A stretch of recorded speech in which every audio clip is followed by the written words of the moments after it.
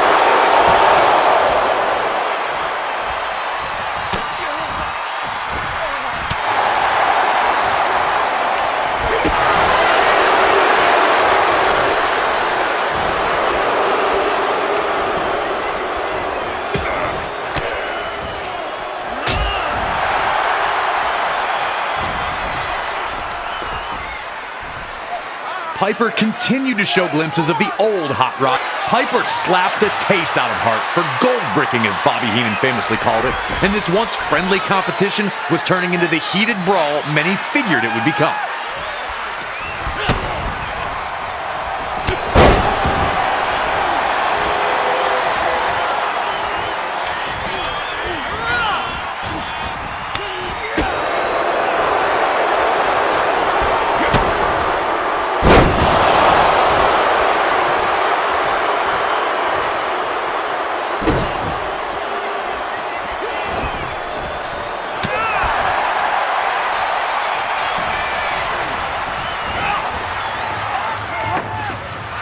Unloading a huge sucker punch.